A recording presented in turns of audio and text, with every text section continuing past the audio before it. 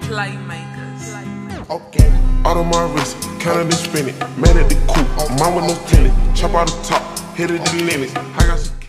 What's up, y'all? Trey Be Dippin in the building. You know what time it is. I know it's been a while, man. I had to take a break uh, for multiple reasons. Mentally, physically, I needed a break, but also I had a bunch of stuff going on in real life that just needed my undivided attention, which I'll probably get to in a different video. But while I got you here, um, we are at the infamous M&R Dips. You know what I'm saying? And I just want to real quick before I get into the video, I wanted to show you guys uh, the project that I just finished because it's really dope. So let me do that and then we'll get to it. So if you guys were wondering why my name is Trey Be Dippin and you're here for the prelude content, just know that your boy does liquid wraps, aka Plasti Dip and Autoflex. And this right here is a Camaro, I don't remember the year. It's a Chevy Camaro that I did in Autoflex. And what you're looking at is a custom Hypershift Pearl, which is like shifts three to four, or five different colors. And I faded it to black, topped off with the gloss. I did the wheels, and if you look closer, I did the calipers too. But yeah, man, um, this is what I do, man. This is how this is how I eat. This is how I put food on my table. Um, but this this project came out really dope, man. So I just wanted to show y'all that. But on to the good stuff, you know what I'm saying? So basically, we're gonna be changing out the clutch, which means you already know your boy got the prelude in the booth. The booth capital B, two O's, three F's. but yeah, so um, I already actually have a lot of stuff. I'm already like halfway done. Um, so I'm just gonna walk you guys through what I've done so far. And it's not gonna be like a full tutorial, but definitely like a learning moment. So um, yeah, so I'll, I'll walk you through what I've done so far. All right, so basically the point that I'm at right now, watch out, I'm trying to step over some stuff, I'm gonna break my neck. Um, basically the point where I'm at right now, um, I guess kind of the line of things you can do it is number one, you want to take off the wheels, get it up in the air, or get it up in the air, take off the wheels, um, take the axles out. Um, I do have a video on how to remove axles, so if you're not familiar with that, I do have a video for that. I'll, actually, I'll put that in the description. Um, I don't want to repeat that video basically. So take out the axles, um, and then once you come into the engine bay, you actually want to disconnect all of the harness that's connected, or all the harness connectors that's on the side of the transmission. So you're looking at like two temperature sensors, the distributor, uh, the two distributor plugs, uh, the reverse um, sensor, the speed sensor, and basically everything on this side. Um, the other thing you're gonna do is uh, basically disconnect your shifter cables. Um, and then uh, pretty much I think the last thing on the list for inside the bay before you can actually start disconnecting the transmission is the um, let me think probably want to just disconnect the VTEC uh, sensors I already did that and you're gonna have to disconnect your clutch line that's on top of the transmission that needs to come off um, and then that's pretty much where I'm at now I've gotten all that done um, and now I've started removing the bolts that actually connect the transmission to the motor. So that's where I'm at now. So that's where we're to finish, or that's where we're going to continue rather.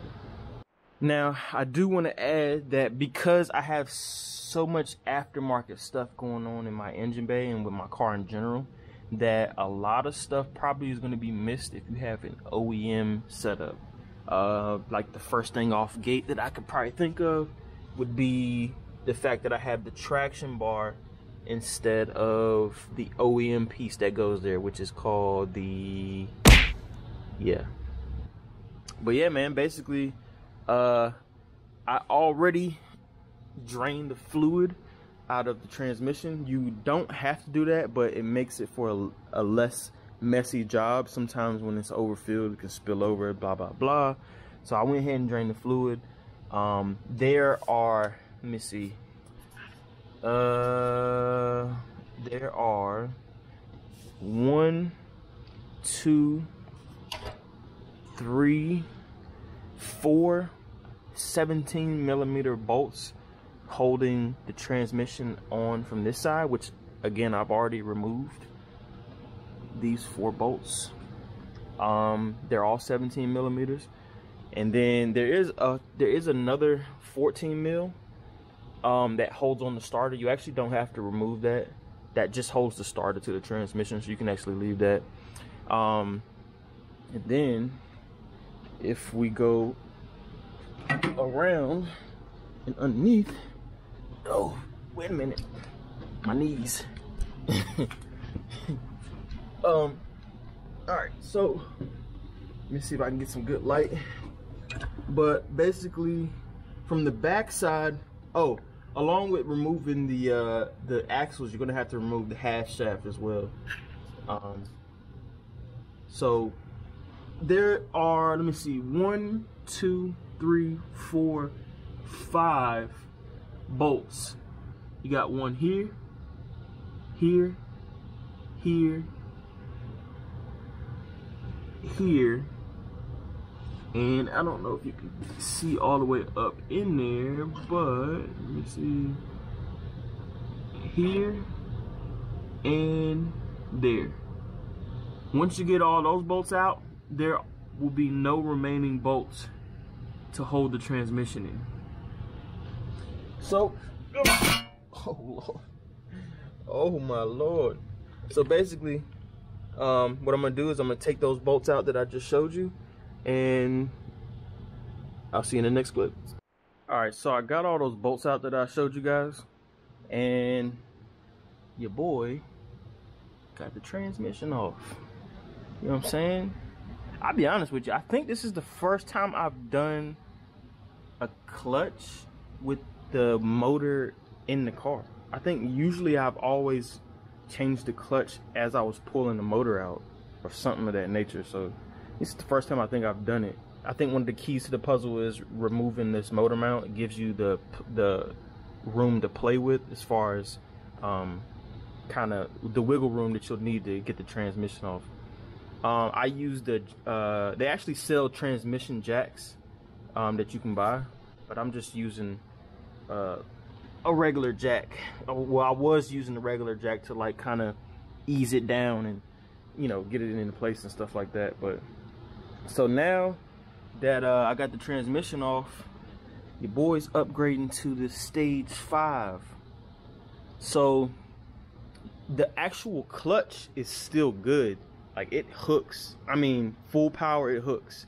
The reason why I'm changing it is because my throwout bearing was going out. You could hear it rattling real bad, man. So um, it was it was kind of irking me. So I figured it's no point in just doing all this just to change the throwout bearing by itself. So I figured might as well just go ahead and do the clutch while I'm at it. Even though this, bro, this Amazon clutch has been putting in work. This little joint right here, I mean, definitely worth the money spent. The clutch has, I think it's five or six 10 millimeter 12 spline screws. Um, you will need a special attachment you see how this is not a regular socket it has like uh, what is it 12 splines or whatever you will, if you are replacing the flywheel you'll also need a 17 millimeter just like this as well but I'm not taking my flywheel off just taking the clutch off so that, that'll be all I need.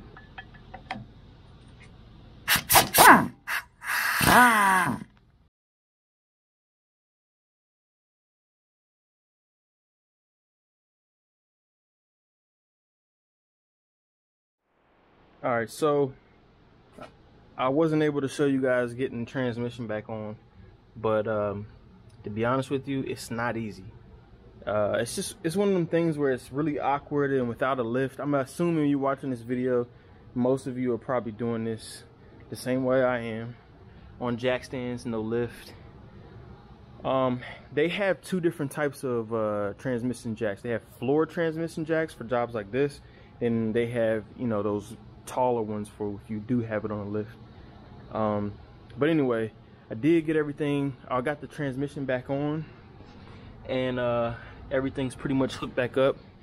I already went ahead and threw the new axle in on this side, and all the everything's pretty much put together back on this side.